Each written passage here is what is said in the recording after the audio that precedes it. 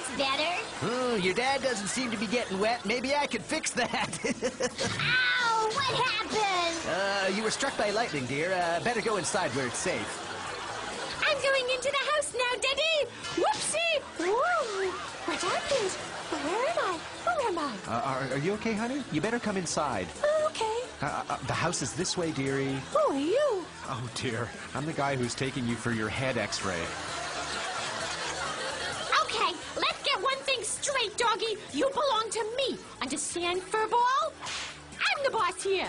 Got it? Sorry, my mistake. Never mind.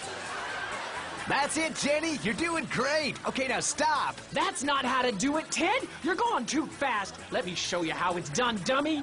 Now get on gently and go slowly. Good girl. See? This is how you... Oh, no! Sorry, dear. I didn't know driving into the wall was part of her training. Make sure you feed all of them, Simon, so nobody gets jealous. Okay, Mom. Here, this is for you. Go on. There. Uh, you want some too? Oh, dear. Um, I, I think I'm out of food. Ouch! Gee, Mom, you weren't kidding, were you?